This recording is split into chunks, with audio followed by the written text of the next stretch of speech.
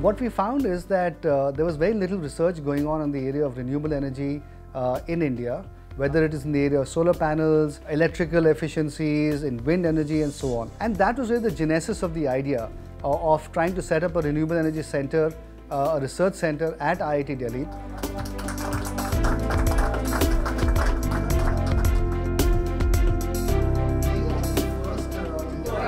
Everybody on this center. It's a very important uh, step forward.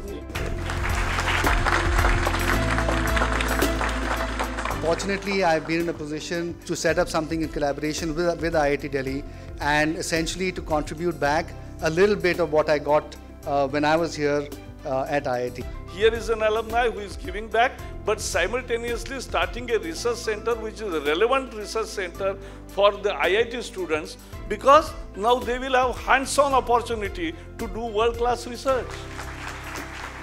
It is indeed uh, extremely special for us to be able to set up a hub for renewable energy research, which we sincerely hope will pave the path for innovation in the sector.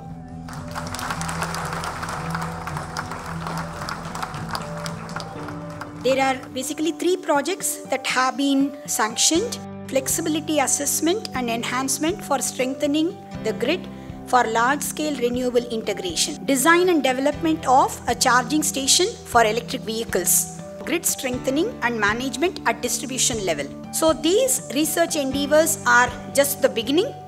The concerted effort of this Renew Center of Excellence would hopefully make a mark in the energy scenario in the country at both transmission and distribution levels.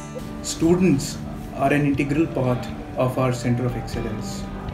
They are not only supporting us in core research, but have also shown enthusiastic participation in the technical contests that we have held at IIT Delhi. We are together working on the Renew Power project, and the project is primarily based on the des- design and development of the charging stations for three wheelers as well as the four wheelers. And those charging stations are to be powered from the solar photovoltaics, which we consider to have a huge prospect in Indian scenario. We believe that this industry academia collaboration can help us uh, tackle the current uh, pressing problems of the Indian EV industry and we are happy to uh, collaborate with uh, Power and we'll be uh, much more happier to uh, do such more interesting projects.